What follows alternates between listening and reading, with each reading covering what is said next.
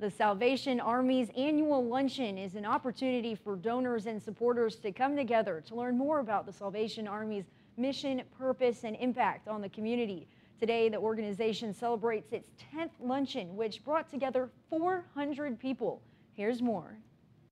People from all around Brazos County are celebrating the Salvation Army's 10th annual Doing the Most Good luncheon, which is not only a time to remember what the organization has done so far, but also a time to look to the future the organization is heading towards. Lieutenant Timothy Israel, Executive Director and Corps Officer for the Salvation Army of Brazos Valley, says the organization is extremely thankful for all the support it gets each year and says it makes what they do in the community possible. We've especially seen that in this last year as we've seen an unprecedented amount of need, and yet every time the community stepped up and met that need and that challenge. And so we just thank them for that and thank them for supporting the Salvation Army and allowing us to be the vehicle through which they give and support those in need in our community.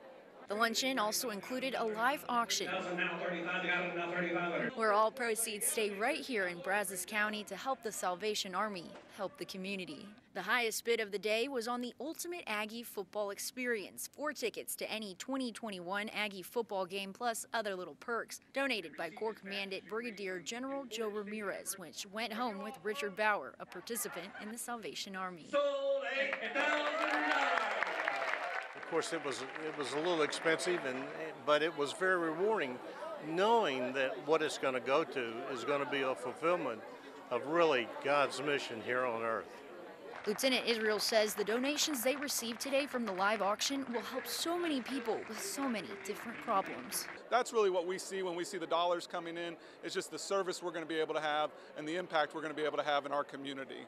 Bauer says the luncheons take a full year to plan out, but it's very rewarding. Of course, it's really the good Lord's mission that one should have uh, that in their heart is meeting the needs of, of other people that are distressed and distraught. And a big thank you from KAGS to the Salvation Army for inviting us to this special occasion today and gifting us with this beautiful plaque. Now, if you didn't attend the luncheon but want to help out, go to our website, click on this story, and you'll find the link so you can make a donation online right now.